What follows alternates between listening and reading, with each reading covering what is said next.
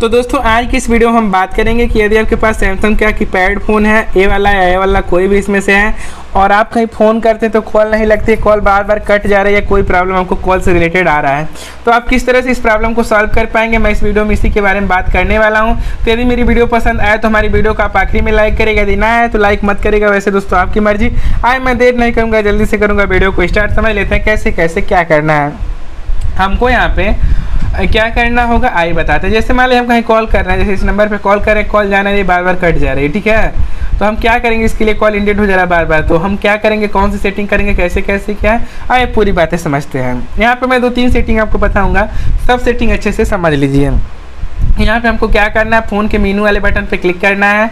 मैं तीन, चार सेटिंग बताऊँगा तो वीडियो को आखिरी तक देखिएगा ताकि अच्छे से आपको सभी सेटिंग समझ में आ जाए। मीनू वाले ऑप्शन में जाएँगे, ठीक है? फिर यहाँ पे आपको आना है सेटिंग में। सेटिंग में आने के बाद बहुत सारे ऑप्शन आपको दिखेंगे, लेकिन आपको कहाँ पे क्लिक करना है? एप्लीकेशन में जाना है। एप्लीकेशन में जाएँगे तो एक ऑप्शन दिखेगा कॉल का। कॉल वाले ऑप्शन पे क्लिक करना है। कॉल वाले ऑप्शन पे क्लिक करेंगे तो यहाँ पे ऑल कॉल का ऑप्शन दिखेगा पहले पे इस पर क्लिक करना है। इस पर क्लिक करेंगे तो आप देख पा रहे हैं यहाँ पे बहुत सारे ऑप्शन दिख रहे हैं। तो हमको क्या करना है? यहाँ से एक बार चेक कर लेना है कि यहाँ से हमको बैक आना होगा। यहाँ पे दोस्तों एक बार बैक आएँगे और आपको यहाँ पे जाना है कहाँ पे? यहाँ पे आपको आना है। यहाँ पे आपको सेलेक्ट करना होगा, नीचे आना होगा। ठीक है, एक ऑप्शन दिखेगा नेटवर्क का। इस नेटवर्क वाले बटन पे आपको क्लिक करना है। यहाँ पे दो ऑप्शन दिखेंगे ऑटोमेटिक मैनुअल तो सिंपल आपको मैनुअल वाले बटन पे क्लिक करके ओके कर देना है। जैसे ओके करेंगे, यहाँ पे सर्चिंग नेटवर्क होगा। आपके एरिया का नेटवर्क सर्च किया जाएगा। थोड़ा सा वेट कर लीजिएगा। आपके एरिया का नेटवर्क यहाँ पे सर्चिंग कर रहा है। आप यहाँ पे देख सकते हैं, यहाँ पे हमारे एरिया में दो नेटवर्क है वोडाफोन और एयरटेल का। हमारी जो सिम है, वो वोडाफोन की है तो फ़र्स्ट पे वोडाफोन है तो हम वोडाफोन पे ही सेफ़ वाले ऑप्शन पे क्लिक करेंगे रजिस्टर्ड हो जाएगा। अब आप कॉल करने का प्रयास करेंगे तो आपकी कॉल जाने लगेगी। यदि फिर भी नहीं कॉल जाती है तो आपको क्या करना चाहिए? आई मैं बताता हूँ।